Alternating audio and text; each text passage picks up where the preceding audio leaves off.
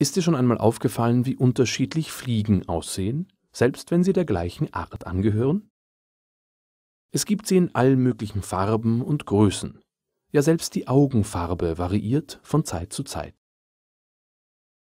Und jetzt stell dir mal eine Fliege ohne Flügel vor. Was passiert mit ihr? Richtig, sie wird gefressen oder zertreten. Dennoch gibt es in der Natur Fliegen, die gar nicht fliegen können. Glaubst du nicht? Dann empfehle ich dir einen Ausflug zu den Kerguelen-Inseln in der Nähe des Südpols. In diesem Video werde ich dir zeigen, wie sich dort flugunfähige Fliegen entwickeln konnten. Damit du alles verstehen kannst, den kompletten Film und viele weitere findest du auf www.sofatutor.com. Über 7000 Lernvideos erklären dir, was du für gute Noten wissen musst.